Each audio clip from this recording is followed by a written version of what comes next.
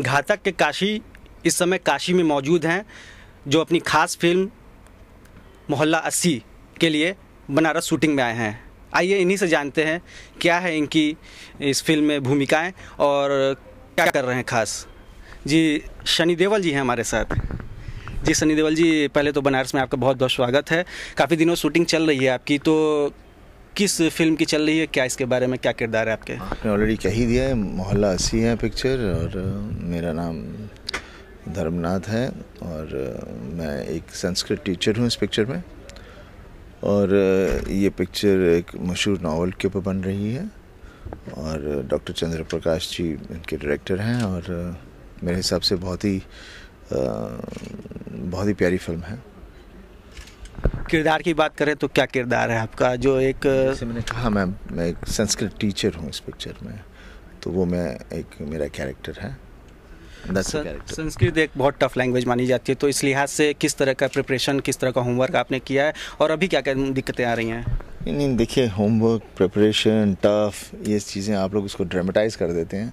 हम एक्टर हैं हमारा काम है पिक्चर में जब कैरेक्टर लेते हैं उसको निभाना तो उसकी टफनेस या उसकी वो चीज़ों के बारे में हम ज़्यादा इतना लेके नहीं चलते।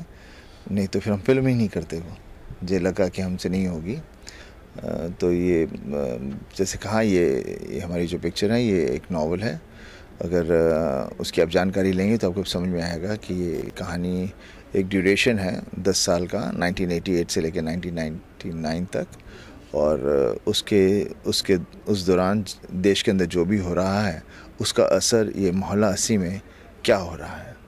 तो दुनिया में देश में जो भी हो रहा है उसका ये हमारी जो गली है मोहल्ला सी उसके अंदर कैसे इफ़ेक्ट होता है और कैसी बदल रही है जैसे दुनिया देश बदल रहा है वैसे यहाँ पर भी वही बद, बदलाव आ रहा है और सब चीज़ें हो रही हैं तो पूरा दिखता है। सटायर है इस पिक्चर में और ढेर सारे अच्छे एक्टर्स हैं और अ, अ, मेरे हिसाब से ऐसी पिक्चरें बहुत कम बनती हैं और ऐसे सब्जेक्ट्स ऐसे नॉवेल्स बहुत कम दिखाई देते हैं और हमें मौका भी नहीं मिलता ऐसी फ़िल्मों को करने का।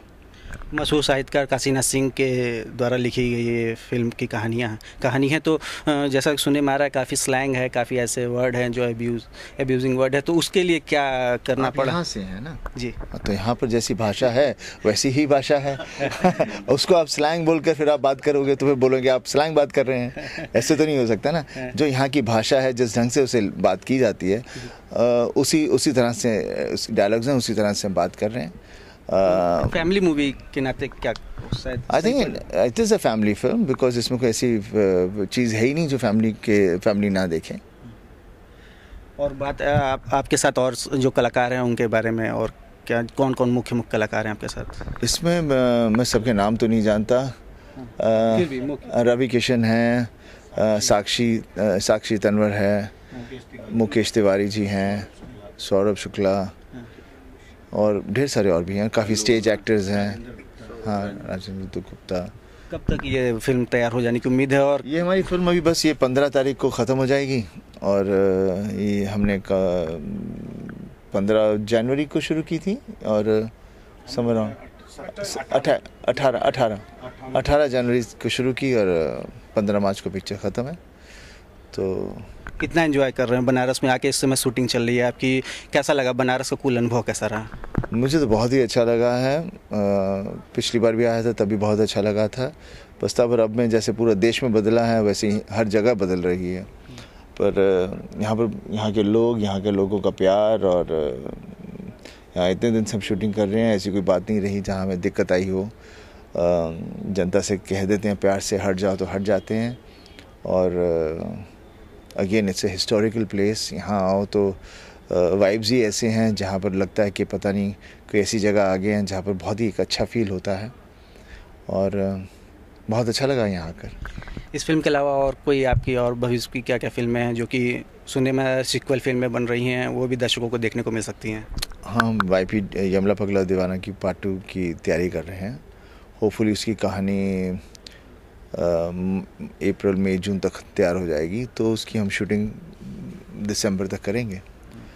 और अगले साल जून उसको रिलीज़ करने का इरादा है।